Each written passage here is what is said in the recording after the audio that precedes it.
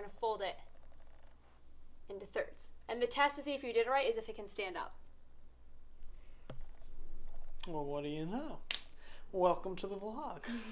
dude, Mm-hmm. it's filming. Mm-hmm. There's no red button, dude. I can't. They're back here. Yeah, but I can't see back there. I just, I'm so lost every time we do this. Like every You're lost no matter what we do. We're doing it live! what is up, guys? Welcome to the vlog. We have another amazing day on the menu today. We've got legs. We've got. We got legs. So, uh, You don't. I don't pay you for this kind of sh- Johnny, alright? You had to censor that yourself. you could do that. in You know, I don't know. Too much work we'll see. We'll, we'll see how much effort I want to put into this edit. So you know, it's like if I'm not feeling that or great Oh, about I it. censored it myself. Jeez, those three minutes. Woo! All right, so we got legs today. We're hitting squats, 315 pound squats. Then after that, we're gonna do deadlifts. Three sets of six. We're doing pause deadlifts. You'll see them in there, how I do them. It helps you kind of get complete control over a certain weight. So I'm gonna be doing it with anywhere from 315 to 365, depending on how I feel. And then after that is always, guys, building up them lats and them biceps curls for the girls. I mean, we do this every vlog. I shouldn't even have to say it anymore. You're probably skipping over this part anyway because it's just repetitive. Let's get into the workout. Am I right, Johnny? You're right, Will. Let's do it.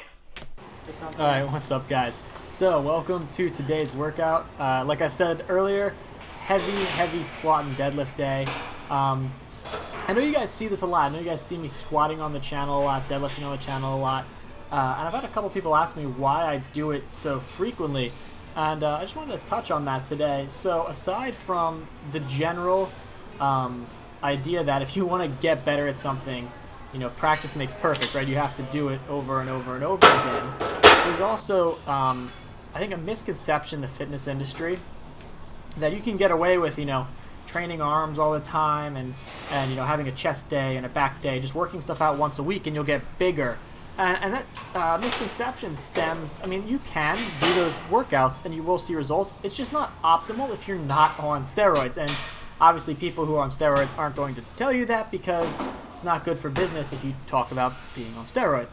So, training with a frequency setup like me, it's not common because what excels and what sells most in the industry is people who look freakish, people who look amazing, and most of those people, for the most part, uh, are using some kind of substance to help them, and that's the sad reality. It's not true of everyone, and there's lots of guys who are natural who do well, um, but I think the large majority of what you see uh, are, are people who do use some kind of performance-enhancing steroid, oral, whatever it may be, and it changes the way in which they train. Now, when they portray that online, uh, a lot of people see that they think that is probably the optimal way to train, and it's really not. If you're natural, you're going to get better results from training with heavy compound lifts multiple times a week because that's the stimulus your body's going to rely on to really kind of charge growth. If you've got far, you know, an excess amount of hormones in your body, you may respond better Nice. to just you know higher you know higher volume, lighter weight, pumping uh, you know blood into the muscle. But if you're natural, your body, think about it, you know, it's trying to maintain homeostasis, the idea that it wants everything to be normal. If you are constantly hitting it with this stimulus of heavy, heavy lifting and heavy, heavy uh, kind of loading, the body has to have bigger, stronger, more dense muscle uh, to handle that. And if you give it to it regularly, uh, it's going to respond quicker because it understands I am now used to receiving this stimulus, you know, two to three times a week. I need more muscle mass because this is being charged at me. I need more density, more strength, more tensile power in the muscle because this is progressively getting harder and harder each week and it's being pushed at me with this much frequency. And that's how the body's going to respond. So I would never recommend doing just one day a week for each body part if you're a natural lifter. And that's why you're going to see on this channel so many uh, leg days and so many compounded days during the week. I never do just one body part in a day unless I'm doing maybe like a Saturday or a Sunday workout, which would be an off day for me, and I'm trying to bring up a weak point. For the most part, you're always going to see in conjunction with a big compound lift a, a, a assortment of body parts that are related to that getting worked out. So if I'm working like today, I'm working squats and then deadlifts.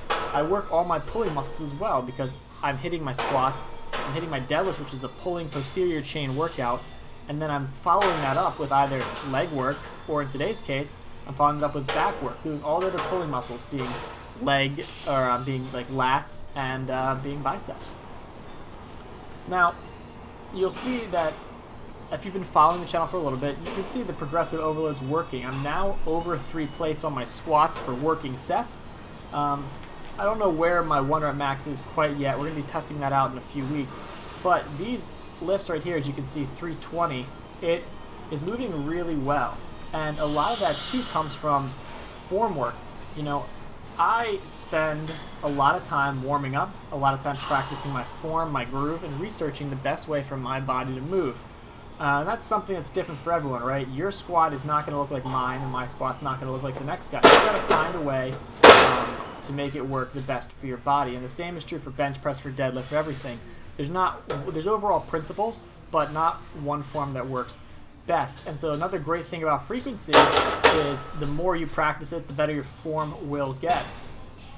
And then, of course, using variations as well is going to help you progress. So as you can see here, doing pause deadlifts. I'm taking it about six inches off the ground, pausing, and then powering through the movement. And what that allows me to do is really control the weight and get that feeling of tightness at that midpoint where a lot of people lose the tightness around their back. And I'm using a light weight here for me, only 315 pounds. Um, and again, don't look at somebody's weight that they're doing and think that that's lightweight. You have to go relative to the percentage of weight that's your max. So for my max being in the 500s, that's relatively light for me. For someone else, that could be closer to your max. So just because you see me doing that, don't think that that's what you have to do. You want to use a weight that's 50, 60% of your max.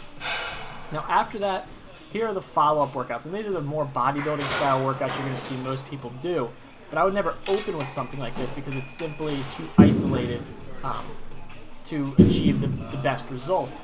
Instead here, when I go lighter on these, I'm focusing on, now that I've really banged out those harder sets and the, uh, the, intense, the intense stimulus, this is to take the muscle through a full range of motion, to pump blood into it. So we're getting the same kind of workout in as well. You know, as a bodybuilder, mixing it in with that powerlifting aspect.